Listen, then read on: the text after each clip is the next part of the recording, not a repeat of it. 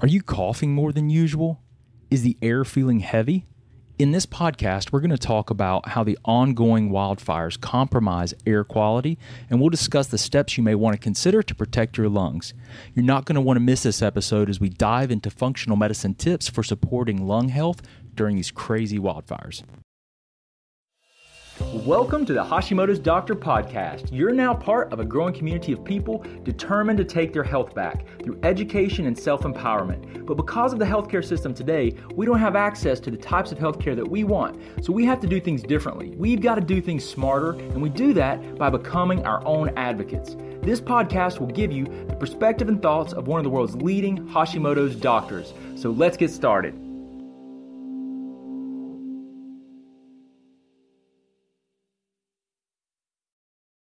Hey, everybody. It's good to be back with another episode of the Hashimoto's Doctor podcast. I'm your host, Brad Shook, and today we're going to address a burning issue. And I mean quite literally a burning issue. And this is the impact of the wildfire smoke on our lungs. I'm going to share with you some tips on what you may want to consider doing. And this is, uh, I think, this is a major issue for a lot of people uh, in Canada and in the United States. But if you are you know, in a, an area where there's higher uh, there, there's higher smog or there's air pollution, this is also relevant to you. Now, if you don't know this, uh, it's hard to avoid it if you look at the news, but there are wildfires just raging across Canada and it's affecting the air quality across the continent. And it's really important for you to understand and know that the smoke is potentially dangerous and can create a lot of problems for your health and your lungs. If you're autoimmune, uh, or if you're already prone to uh, asthma or have an, another lung condition, uh, this is this is even uh, more important. And and hopefully you've been advised uh, if you already have some pre-existing lung issues uh, that. you you know with some steps and things that you can do but if not i'm going to share with you some tips and things that you can consider and that you can run by your doctor to see if it's right for you we're going to talk about how to minimize the smoke exposure. And I'm going to talk about some things that you probably haven't heard, which are the dietary, lifestyle, and nutritional supplement strategies that can make a difference. So let's go ahead and dive in.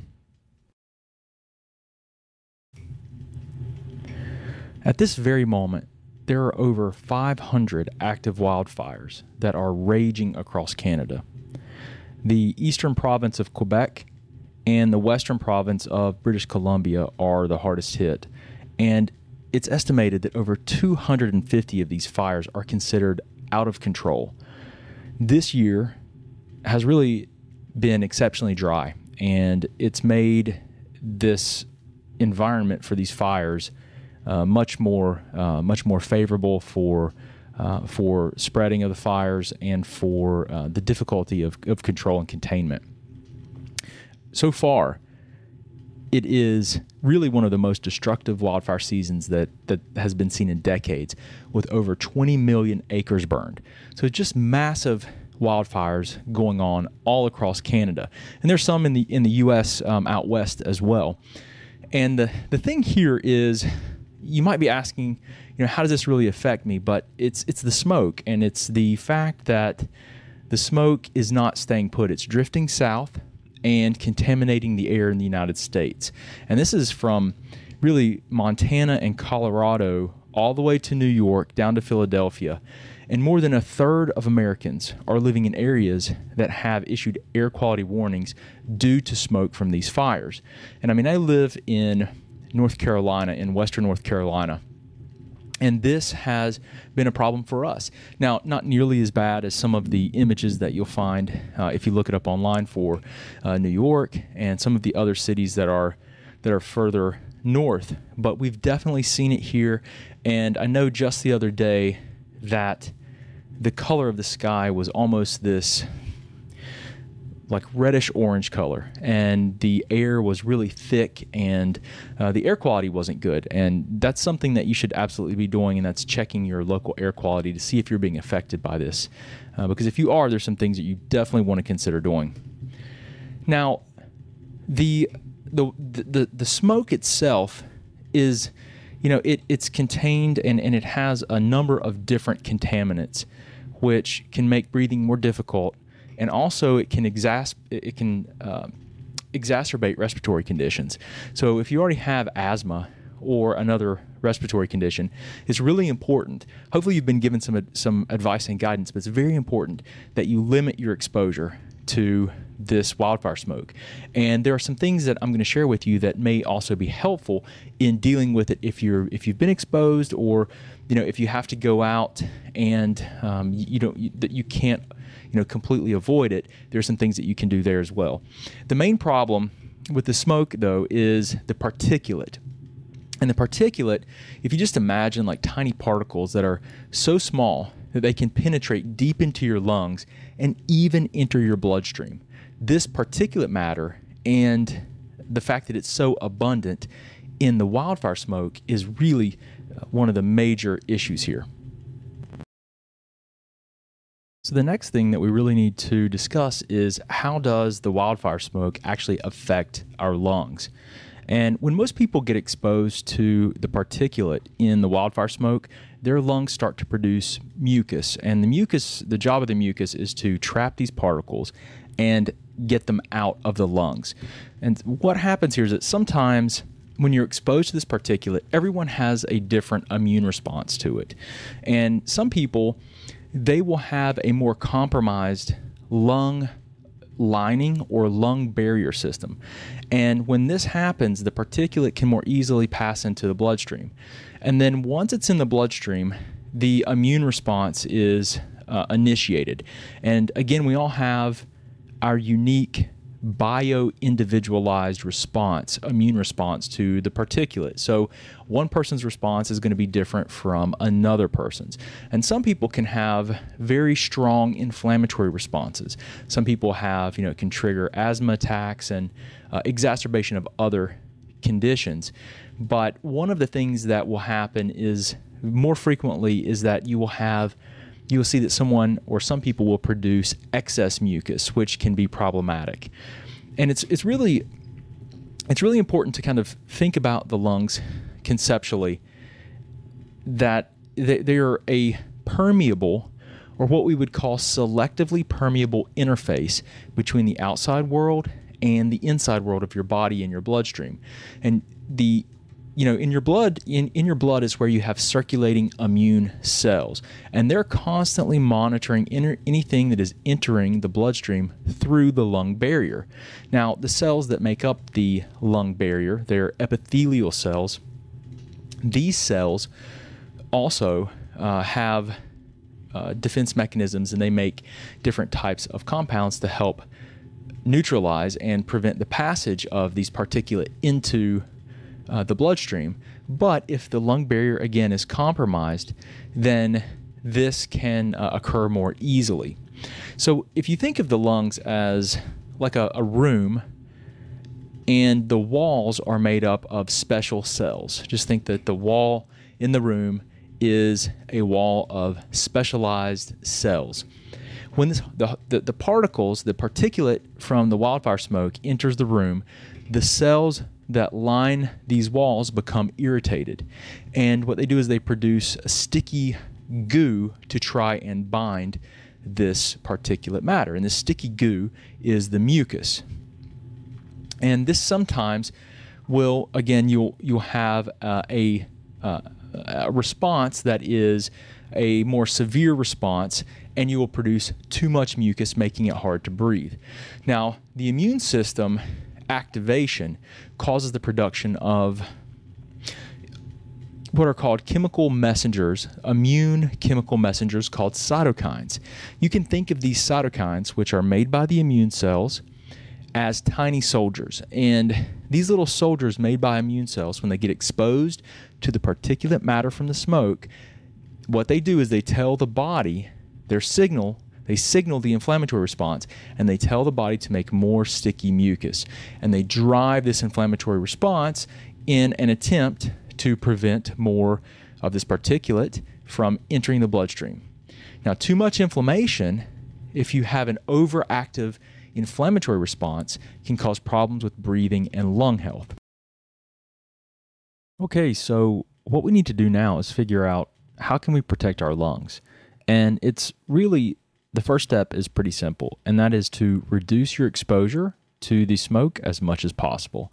And that would include not going outside when the air quality is not good, uh, not exercising outside if there's not good air quality, using things like a HEPA air filter in the rooms where you are spend most of your time, whether that's like in an office or in your bedroom where you sleep, just making sure that you have an additional uh, or you have air filtration in place to reduce the particulate that is in the room with you. Also, I will say one last thing the CDC has some great resources. If you go to their website, uh, you can look up uh, wildfire um, support strategies, and they have a lot of information about. Uh, the planning and the scale that they've developed, and they, they recommend things. Uh, they do have some good t- tips. They recommend wearing an N95 mask if it's really uh, there's a lot of uh, particulate in the air and you know really minimizing your exposure as much as possible. And i think those are those are good ideas but um, you know as with anything and with with any of these um, suggestions and ideas that i'm talking about here make sure that you check with your doctor to make sure that it's appropriate before you do anything that i'm talking about. This is just informational in nature and it may or may not apply to your particular situation but so the the next thing that we need to really talk about is, um, well, so we know that if you get exposed to this particulate, there's some negative things that happen. It typically triggers an inflammatory response. There is increased mucus production, and this creates all these problems for our breathing and our lung health, and uh, actually can um, really trigger and exacerbate uh, immune issues, and it can lead to other problems. So, one of the first things that you want to do consider doing here is thinning the mucus, doing things to help thin the mucus. And I would say one of the most powerful things is staying very well hydrated. You don't get dehydrated or you're going to have problems with thickening mucus. So stay hydrated, number one. Uh, number two, you can use a supplement called N acetylcysteine. Now, N acetylcysteine has a tremendous number of health benefits. Um, I take about one gram every single day, uh, along with some glycine and those are uh, precursors. They help your body to produce glutathione, which is the master antioxidant, and it has um, it has uh, some very uh, potent anti-inflammatory effects, and it helps with immune system regulatory function. So it helps to balance the immune response, which is really important because uh, the immune system can dysfunction several ways. It can be overly active and you can have too much inflammation. It can be underactive and not produce enough inflammation when it needs to. And then there can be problems with, uh, you know, the um, initiation and the resolution of the inflammatory response. And that's really the regulatory function of the immune system. So all these things, you know, have to be considered. But N-acetylcysteine or NAC has been shown to be mucolytic. So it helps to thin the mucus and can be really, really helpful at um, helping you to breathe better and um, just you know have uh, a much better quality of life when you're getting uh, exposed to to these different types of chemicals and, and, particulate that's in the wildfires. And I'll also say this because NAC contributes to the production of glutathione, it can help with the detoxification of uh, a lot of these chemicals that you get exposed to in the uh, the wildfire smoke as well. So step one, uh, reduce your exposure, uh, drink plenty of water and then consider something like NAC to thin the mucus. Uh, the next thing is once you have the mucus thinned, or you if you have this extra mucus, you want to be able to get it up and out. And your your lungs, the cells that line your lungs are pretty amazing. They have these finger-like projections that point inward, and they're called cilia. And these are very similar to what you find in the digestive tract and in uh, other um, mucous membranes. And and remember this is the lung the lung wall or the cells that line the lungs. They are the interface between the outside world and the inside world of your bloodstream. And they are your your lung lining is a barrier system. It is a selectively permeable barrier system that is there and designed to let things in uh, that should go into the bloodstream and and and then keep things out that should not, right? So, in a very simple terms, it is a barrier that lets things pass through uh, and keeps things out that shouldn't be there. And this is something that can break down. This can dysfunction, and then you can get things that are in the air and uh, that that you inhale that will pass through into the bloodstream that shouldn't be there. And this can create all kinds of different problems. This can create immune problems. And this is very similar. This is um, you know, there's a concept in functional medicine called intestinal permeability or hyperpermeability. When the GI tract lining becomes porous or uh, you know the lay term for it is leaky and it lets things from the GI tract into the bloodstream that shouldn't be there and it's well known to cause um, uh, inflammation and can drive uh, immune issues and it, and it can be a gateway to autoimmunity. And the lung barrier is very very similar. And uh, a lot of the same consequences can occur there uh, too. So you know, you, we're really talking about uh, that you can develop leaky lung or this permeable uh, lung lining as well. And so none of that is good for lung health or the immune system. So those are things that we want to stop. So one of the things um, that you also want to consider is the mucus. Once you're thinning it, how do we how do you get it up and out? And there there is a supplement that you can take. Uh, there um, there's something called horny goat weed, and horny goat weed has this uh, this compound in it called epimedium, and it it what it does is it helps to stimulate the cilia, the little finger-like projections on the cells that line the lungs to move the mucus up and out of the lungs. So that can be something that can help you to clear the mucus and it can be a you know another helpful tool. So you can thin the mucus with the NAC, and then you can help to get it up and out with uh, something like horny goat weed, and a lot of times that is uh, that is consumed either a, as a supplement or uh, as a tea. Now, the next thing you need to think about is the lung lining itself. Remember, we talked about this analogy of the walls and how the walls uh, of your room are covered in, in, in a cell layer uh, one cell thick wall, and this would be like analogous to the inside of the lung. And the the cells that line the lung can become damaged, and they can be um, damaged due to the particulate uh, and the chemicals that are coming in, the uh, immune response. Like everyone's going to have a different response to these chemicals in the particulate. The people don't have the exact same responses. That's why some people that inhale the wildfire smoke will be perfectly fine and not really have any issues, and someone else could have very significant uh, respiratory symptoms and problems develop. And that is just our bio individuality. You know, those are um, different immune systems. I mean, there's, it's very complicated uh, how we get to that point. Um, sure, genetic factors as well. So there are a lot of variables, but one thing's for sure you want to support and have the healthiest lung lining that you possibly can. So, in order to support and help the lung lining to uh, repair and, and heal, there are a few things that we might want to consider as far as supplementation goes. So, there is a supplement called baicalin, B A I C A L I N, glutamine, and glutathione. So, that's baicalin, glutamine, and glutathione.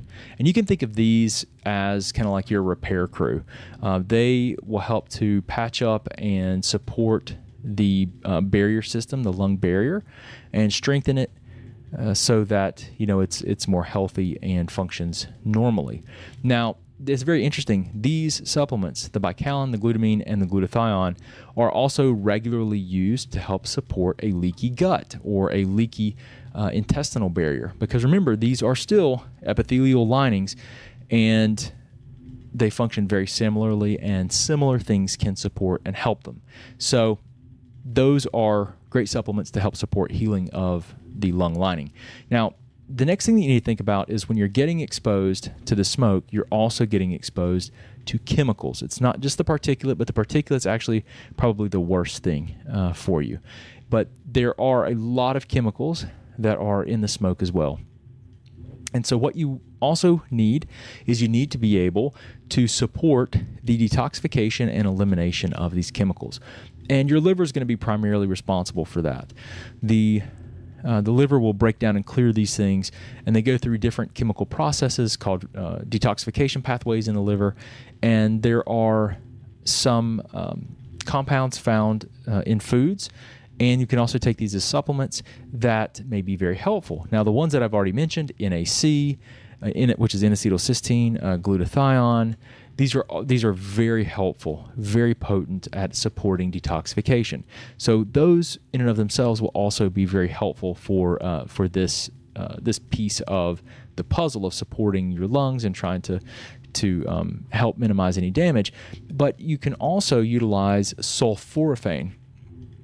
Now, sulforaphane, you've probably heard of it before. It's found in cruciferous vegetables, and it it really stimulates and helps to increase these detoxification pathways. It's it's really uh, helpful for that. And this is something that you know will help uh, stimulate these detoxification pathways and will work together with the NAC and the glutathione to uh, support detoxification of the chemicals that you're getting exposed to. So those can be a great combination. Now, the next thing is we've talked about the mucus that's produced, thinning it, trying to get it out of the lungs. We've talked about supporting the lining of the lungs and, and helping to nurture, uh, healing the the walls uh, of the lungs.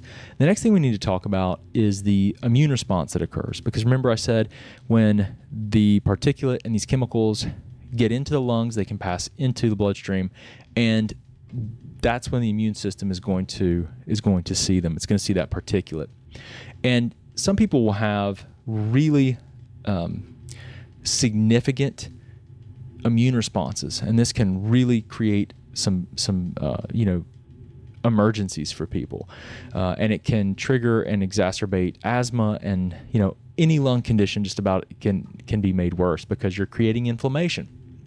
So, the the immune system is something that you really want to focus on and support. Now, a lot of people, when they think of the immune system, they look for supplementation that supports the immune system. And most supplementation that, you know, uh, quote unquote, supports the immune system is really just stimulating it. It's actually, you're taking herbs and things that will drive an immune response, like encourage it. And the immune system can dysfunction many different ways. And, uh, you know, so you don't always want to boost the immune system. And this is something that, um, that that I really uh, like to caution people against, and that is, you know, some of the, the, the sickest people that I've worked with, they're taking the most supplements and they're taking things that are stimulatory to the immune system. And one of the things that uh, that I recommend is you don't want to stimulate the immune system. You just want the immune system to function normally, and the immune system should function normally by being in a in a low in, state of state of low inflammation. There's, so there's not an ongoing inflammatory response where the immune cells are just surveying for potential foreign invaders. And but there's low inflammation because there's not an active immune response. Now, when you are exposed to something that drives an immune response, the immune system should mobilize. It should create inflammation that helps to destroy whatever you're exposed to that it's trying to eliminate. And then once the thing that your immune system is reacting against is gone, it should calm down and the inflammation should resolve. Now, this is a problem because a lot of people have dysfunctional immune systems where the immune system, the, the inflammation is very dramatic and prolonged and it doesn't resolve. And that's a problem because then you have chronic inflammation even after the trigger is is gone.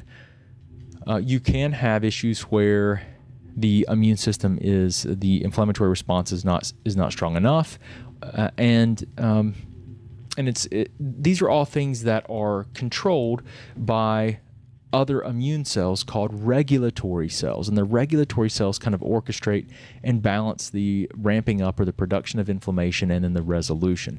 So you just want your immune system to function normally. And a lot of people don't have normal they, are they're deficient in things like vitamin D, and that's really the next supplement that I want to talk about, vitamin D, because vitamin D can help with making sure that you you have a normalized immune response.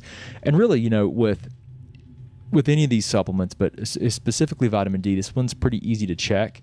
It'd be great if you could get your vitamin D checked to kind of know where you stand, uh, and then you can consider supplementation to get it to a reasonable level and and you you you recheck it the first you know the first um, few months that you start taking it so that you can make sure you're on the right dose that you're getting it high enough. I prefer a, either liposomal vitamin d or a sublingual that you can just hold under your tongue and not not capsules and tablets and gel caps. Just really liquid is uh, better and uh, absorbed form. So vitamin d is super helpful for supporting a normal immune response, supporting resolution of the immune response. And I will say this too the uh, the the other thing that you would want to consider taking along with vitamin D to support a normal immune response and and to support resolving uh, inflammation, which in a lot of these cases you're going to have too much inflammation. It's going to be um, uh, exaggerated uh, inflammatory response. So you want to have good levels of omega-3 fatty acids. In particular, you want to use something like I like cod liver oil or fish oil. Those are fantastic, and uh, you know taking a significant enough amount that you get um, uh, you you produce uh, the right. Um, basically, you're producing a eicosanoids. You're, you're producing um, these uh, these byproducts of uh, the breakdown of fatty acids that help with resolving inflammation. So, essential fatty acids like fish oil can be really helpful at dampening inflammation, and that would be good to pair with vitamin D. And actually, taking them together would be a great way to do it because vitamin D is fat soluble and absorbs with fat, so it needs fat to absorb. But those would be fantastic to support the inflammatory response. Now, when you have an immune response, when, when you're when you have this inflammatory response in your lungs, you produce these immune chemical messengers called cytokines. These these act as kind of like these communications um, proteins, or, or you can think of them as like little little soldiers that uh, can drive inflammation or resolve it, but they're primarily thought of as stimulating an inflammatory response. And you want to try and balance the production of those so that you don't have, you know, an overactive production of inflammation. And there are some uh, other supplements that can be very helpful for that. In, in particular, Perilla is uh, is something that can be helpful. Perilla extract, that's P E R I L L A extract, and then astragalus, A S T R A G A L U S they can be very helpful at balancing uh, this uh, this immune response and ensuring that you don't have an overactive uh, inflammatory response. So these are really good supplements to consider. There, there might be a few others, but these are the ones that I would say are kind of like the top supplements that I would consider using to help support the lungs. So we'll go through those again. N-acetylcysteine, horny goat weed because of the epimedium, also, looking at baicalin, glutamine, and glutathione to support the um, the lung lining and detoxification as well. Sulforaphane to support detoxification. Vitamin D and fish oil to support immune regulatory function. And then uh, possibly perilla extract and astragalus to support balancing uh, or uh, supporting cytokine production, which are proteins made by immune cells that can drive inflammation. They're chemical messengers that can drive inflammation. And this is a good, good place to uh, start or consider starting with supplementation. Now, as helpful as the supplements are, and I think that in this particular case, you really want to consider supplementation as a way to get a lot of these uh, these things into your these antioxidants, these herbs and things into your body because you're not going to be able to get them uh, in significant amounts from food. But I do want to talk about potential sources of these things from from foods. So let's talk about NAC again, N-acetylcysteine, and NAC is derived from the amino acid L-cysteine. Food sources rich in L-cysteine are chicken, turkey, dairy products like yogurt and cheese, eggs, legumes like lentils and chickpeas, and sunflower sunflower seeds. These are all significant sources of L-cysteine, and that can help with uh, NAC, NAC production and NAC levels. Now, the epimedium, remember I said you want to use horny goat weed, is primarily where, where you can get a, a good concentration of this. Uh, it is, you know, it's an herb and it's not typically found in everyday foods. So it's usually taking as a, as a supplement. You might be able to find it as, um, as a tea, but it's usually taken as a supplement. Now, baicalin is primarily found in the roots of Chinese skull, skullcap plant. And it's not commonly found in foods. It's usually just taken as a supplement, uh, a capsule form, or or as a tea. So baicalin something that you could you could look for. These are just more convenient because typically this is not like an ongoing protocol that you would take forever. This is just like you know during a time when um, the wildfires are raging and you're trying to minimize um, exposure or irritation, or if you're symptomatic. Um, and the you, you, know from the from the exposure, um, this is this would be something that you would take, but it's not necessarily something that you would need to take long term. Right now, if you have a compromised lung barrier or some other things, well, then you might need to take these things longer. They could be helpful in a in a protocol for a longer period of time, um, more intense to uh, focus on trying to address some of the problems that you're currently dealing with. But again, that was something that you would want to talk to your doctor about because that's going to be unique to each person. And this is just general information here. It's not, you know, not medical advice. So uh, baicalin, we talked about that. Glutamine.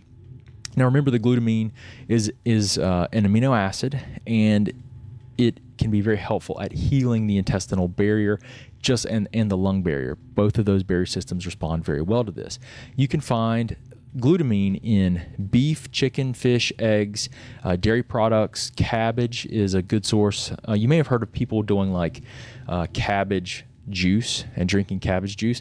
One of the things is cabbage juice is really high in glutamine, so it can really help uh, the intestinal lining. Spinach is also uh, a source of glutamine, and then tofu. So those are some potential sources there.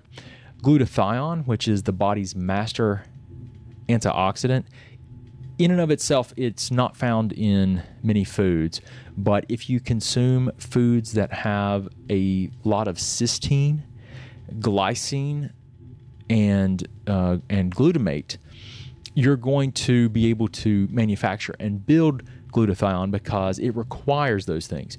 Glutathione requires cysteine, glycine, and glutamate so that uh, it can be uh, constructed and and basically created. So if you're deficient in any of those, then you're going to have problems making glutathione, which is the master antioxidant, and can be really helpful um, for supporting the immune system too. Now, you can find glutathione in cruciferous vegetables like broccoli, Brussels sprouts, uh, cauliflower, kale. You can find it in garlic, onions, avocados. Um, I believe it's pretty good source sources also in uh, asparagus because it is uh, cruciferous as well. Now, we also I also mentioned sulforaphane to help support detoxification, and this is found in cruciferous vegetables, primarily in uh, broccoli sprouts, but it's it's in broccoli, it's in cauliflower, Brussels sprouts, cabbage, and kale. Vitamin D, we talked about to support the immune response. You can find some vitamin D. Um, you know, your body will make it if you're exposed to the sun, uh, and it doesn't take that long uh, to to produce it. Um, your skin to produce it, but you can get it from fatty fish. And I like cod liver oil with vitamin D, uh, but that's usually not quite enough. But you can get it from fatty fish. You can get it from fortified foods like milk and cereals, though I don't recommend uh, cereals, and a lot of people don't do well with milk, especially if you're talking about like thick mucus. Um, there just seems to be a connection with um, consuming dairy and having thicker mucus. I think, you know, I, I, could be completely wrong here, but if I'm not mistaken, there was a study done with, I believe it was collegiate athletes, and they found that the ones that uh, consumed dairy had higher levels or higher rates of exercise induced asthma. I believe that was a study. I, don't even, uh, I just, I believe I'm just trying to recall from memory, but there, there is does tend to be an association. And if you're autoimmune, a lot of people react to the proteins in dairy, to the casein. So um, that's, you know, it's a very, very common immune trigger. So I don't think that I would uh, really try to rely on milk or cereals or uh, cheese necessarily um, as a source, but it, it is it is put into those foods as well, and again, typically not in sufficient amounts. You can also get it from egg yolks and beef liver. Now, the perilla extract that I mentioned is an herb, and it's it's you know in an extract form, so you're not going to find it in foods. It's usually just taken as a supplement and used as an herb um, as needed. This is something that's been around for a long time and uh, has been used in uh, in Asia pretty extensively. Now, astragalus, I also mentioned. Remember the uh, perilla extract and the astragalus were to support a more normal uh, cytokine level production, which those are those soldiers that can either drive inflammation or reduce it, but primarily uh, they'll drive it. And astragalus and perilla are um, there to support a, a an, a more optimal cytokine uh, production um, levels. So astragalus, like perilla, is an herb and it's not commonly found in foods. So you're typically going to take it as a supplement or as a tea. But if you, you know, if you utilize some of these supplements or these supplements, they typically can make a real significant difference in um, how you're feeling and how you're functioning.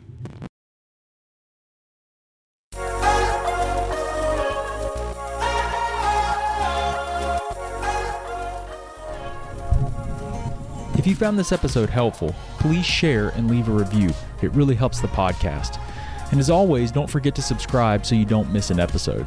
You can also follow us on YouTube and Facebook at the Office of Dr. Brad Shook. You can join our Facebook group, the Greater Hickory Thyroid Support Group with over 11,000 members, and you can find me on Instagram at Dr. Brad Shook. And remember, together, we can make a difference.